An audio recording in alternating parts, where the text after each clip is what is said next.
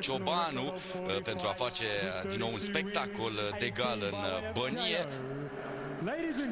Jumătate de, de glob urmărește această gală. Un moment important pentru România, un moment important pentru Craiova și, bineînțeles, pentru uh, promoterul principal. I-am văzut pe cei doi, Falin și Munioz, intrând în uh, ring. Iată-l acum pe rusul Nicolai Falin, uh, supranumit uh, Nico.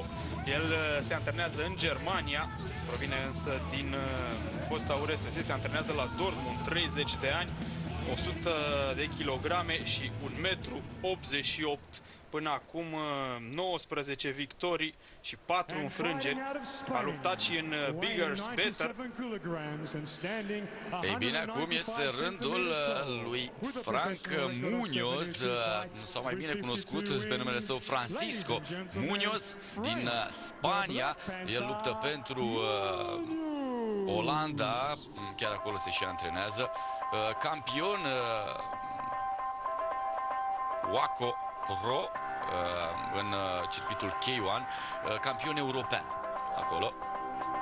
Da, este un sportiv foarte bine pregătit fizic. Îl vom vedea imediat pe Munioz. Iată-l pe Nicolai Falin primind ultimele sfaturi.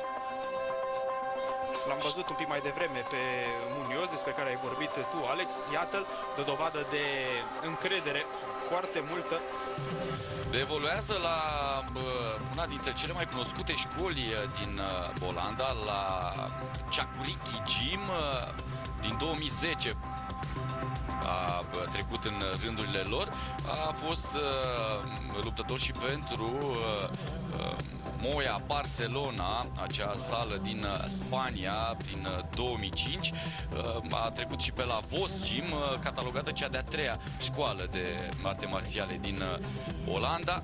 69 de meciuri, 54 de victorii, 30 prin knockout, 14 înfrângeri și o singură situație de egalitate. Să vedem dacă Alonja îl va ajuta. Este mai înalt Francisco Munoz, 1,95 m, comparativ cu Falin, care are 1,88 m. Este mai ușor, cu 2 kg decât rusul pe care îl avem acum în imagine și, cum spuneam, un pic mai bine pregătit uh, fizic la capitolul rezistență. Falin însă are metode foarte neortodoxe, să le spunem așa, de antrenament care, cum vă spuneam, butuci de lemn în spate foarte, foarte grei, tocmai pentru a-și antrena coroana vertebrală.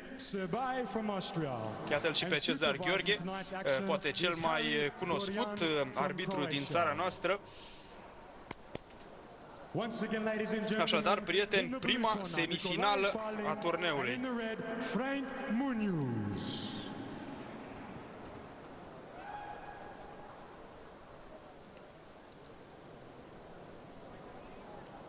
you know the rules. If you stop, you stop. No, please, no go. Okay? Good luck. Să înceapă spectacolul, prieteni, suntem la Craiova pentru a doua oară, o altă gală, marca Super Combat, o seară ce se anunță incendiară în bănie. Avem numai puțin de 5 români pe care îi vom vedea aici.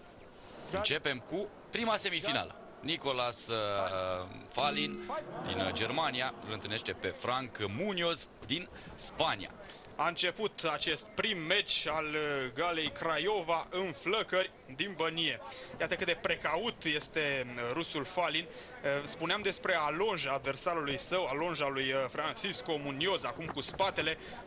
Vine din, a, a practicat un pic de Muay Thai, are această mișcare dansată în ring cu piciorul, atât cu piciorul de sprijin cât și cu piciorul de înaintare lovește foarte bine cu piciorul. Am văzut două lovituri la figură. Dacă intrau aceste lovituri, practic capul lui Falin era în afara ringului în acest moment. Se apără foarte bine însă Falin. Spuneam că la nivelul trenului inferior, la nivelul trenului uh, superior este foarte bine uh, pregătit pentru că se antrenează cu greutăți. Priviți și musculatura este mai dezvoltată. Ce lovitură de genunchi încearcă acolo Munoz. Se întoarce cu spatele, o mare greșeală. A încercat să se întoarcă cu spatele rusul. Dacă te întorci cu spatele în uh, ring, ești pur și simplu distrus de către adversar. Mult mai bine a început Alex Munoz până acum. Exact același lucru vreau să-l spun și eu, pare foarte sigur pe el, calm, își face jocul până acum. Uh, nu s-a lăsat încurcat prea tare de, de Falin până în acest moment. O, totuși o primă repriză mai degrabă de tatonare.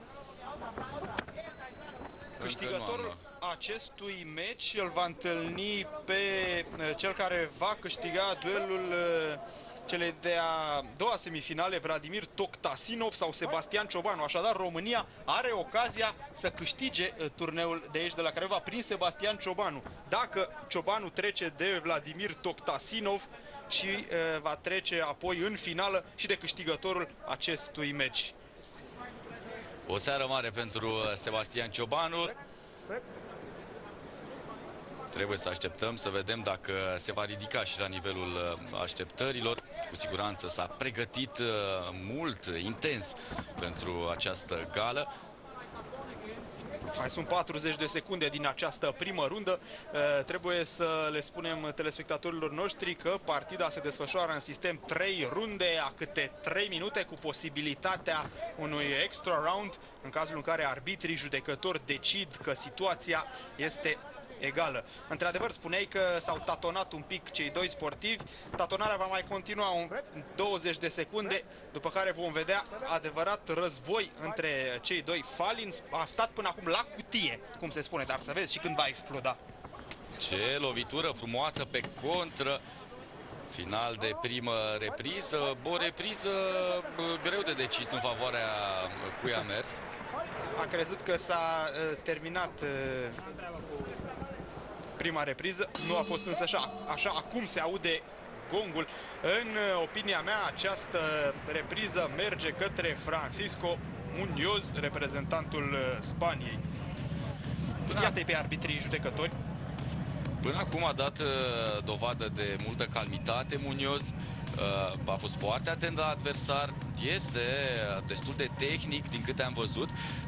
De partea cealaltă am impresia că Falin va urmări o, o lovitură uh, singulară cu care să-și uh, trimită adversarul uh, la podea și să câștige această luptă. Să vedem totuși cine va domina.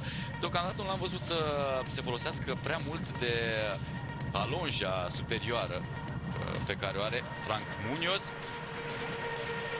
Vă spuneam la început că astăzi, în ultima partidă, îl vom vedea și pe Moroșanu, românul care a participat în finala circuitului K1 de la Zagreb, circuit câștigat de Mirko Prokop Filipovici. Atunci Moroșanu a fost învins de ucraineanul Pavel Juravlev, campionul uh, Supercombat din 2012, în uh, urma unui meci foarte strâns îl vom vedea pe sportivul în țara noastră, pe uh, Moroșanu, contra lui Eduardo Mendes. Veți vedea un colos de om, vă voi spune mai multe despre el. La vremea respectivă a început a doua rundă a meciului dintre Nicolai Falin, reprezintă Germania, uh, Falin născut în Rusia, versus Francisco Munoz. Munoz cu uh, mănuși roșii, uh, Falin cu mănuși albastre. Uh, foarte interesant faptul că Munoz a participat și uh, la acea emisiune uh, Infusion Quest for Honor, um, un um, reality show, un show de televiziune în care 15 sportivi trăiesc, se antrenează și uh, uh, cresc, uh, mă refer la valoare, împreună, apoi um, sunt supuși unor lupte între ei și se decide cel mai bun luptător. Parcă a început mai hotărât Falin această rundă secundă. Iată cât de bine se blochează. Observați garda uh, rusului Falin, foarte apropiată. Până acum nicio lovitură nu i-a intrat în plin lui uh, Frank Munoz, însă a atacat mai mult la capitolul atitudine, a stat mai bine uh, Munoz, un pic mai agresiv. Acum situația a revenit uh, un pic la normal, să spun așa, adică rusul a început să facă pasul înainte, priviți, încet, încet face pasul înainte, iar Munioz parcă, parcă nu mai este cel din prima rundă. Cu siguranță va încerca interiorul lui Munoz foarte serios. Până acum pare mai uh, robust uh, Brusul, chiar dacă a încasat uh, destul de multe lovituri, rămâne pe poziție, cum spuneai și tu, face pasul uh, Ai, înainte. Aici lovitura a fost acolo, a fost a doua lovitură înaltă de picior, al- acel mawashi la figură, uh, cum spun uh, practicanții de karate. Uh, A doua astfel de lovitură trimisă de Munioz a intrat uh, și a atins ținta în proporție de 60-70%, ceea ce este suficient. Nu l-a clătinat însă pe rus, care privește cum face pasul înainte. Acum nu-l mai face înapoi. De aceea spuneam că uh, un pic situația s-a uh, răsturnat Reușește să puncteze mai mult, uh, din câte observ, cu loviturile de picior Munoz, în special loviturile joase de picior. Da. Um, A încercat atât uh, tibia cât și coapsa, uh, atât pe interior cât și pe exterior uh, lui uh, Falin.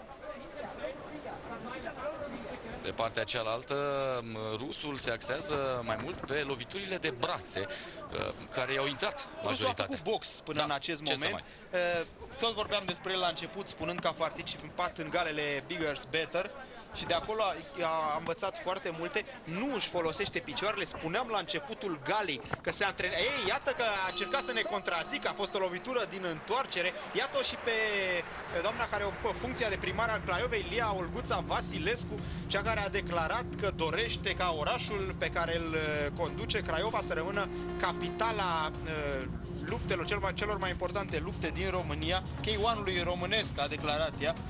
Ei bine, a făcut primul pas, unul foarte uh, important, atunci uh, când uh, Supercombat a venit pentru prima dată. uh, aici, se întâmpla pe 10 noiembrie m, anul trecut, în 2012, atunci când se tăia și pangrica pentru această arenă, pentru această sală polivalentă de ultimă generație, foarte modernă, cu capacitate undeva în jur de 5.000 de locuri, chiar dacă acestea nu sunt ocupate în totalitate în această seară de spectatori, uh, chiar dacă biletele au fost uh, la jumătate ca și preț Așa față e. de gala de la Oradea.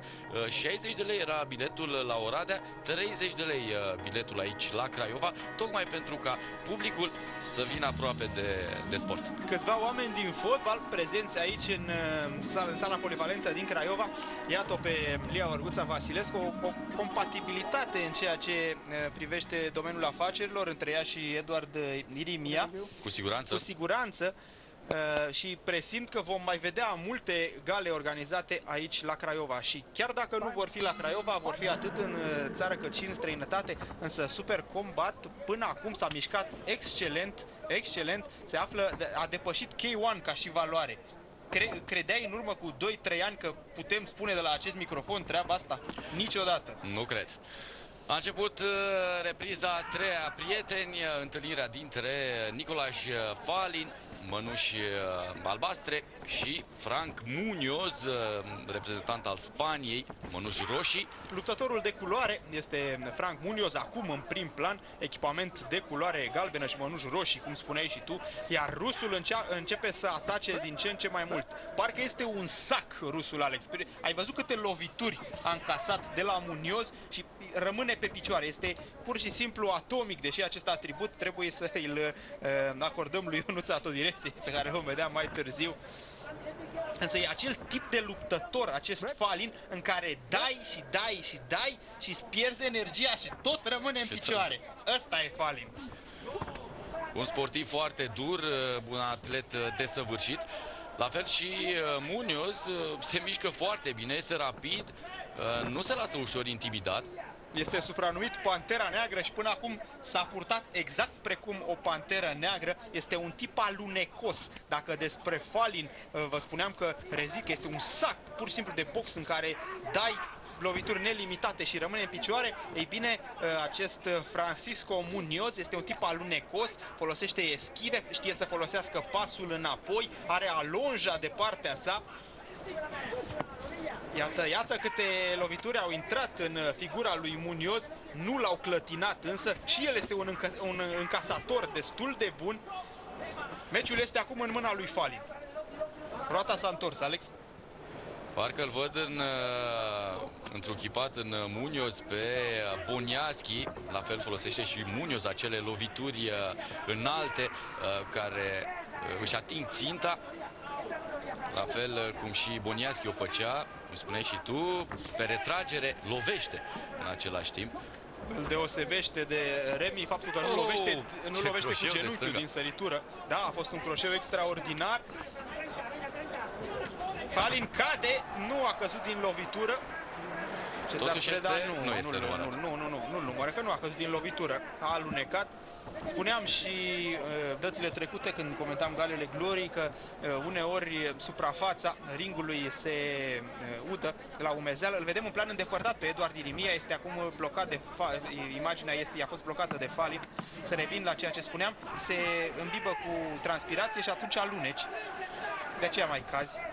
Cei drept, calitatea ringului de aici de la Craiova este una uh, de ireproșabilă, Sigur, mai bine top. spus. Uh, văd că aterența este bună până acum, deja în celelalte gale pe care le-am urmărit, uh, chiar uh, din primele meciuri luptătorii alunecau și existau ceva probleme.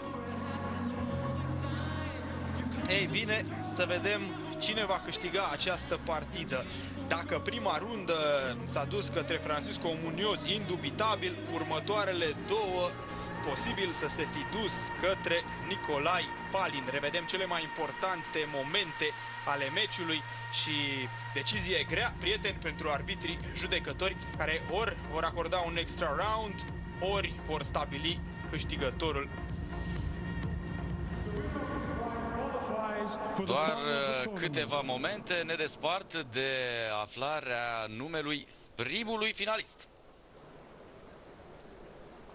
nu exclude posibilitatea unui extra round, pentru că au fost destul de apropiați ca și valoare. So winner, Ia să vedem.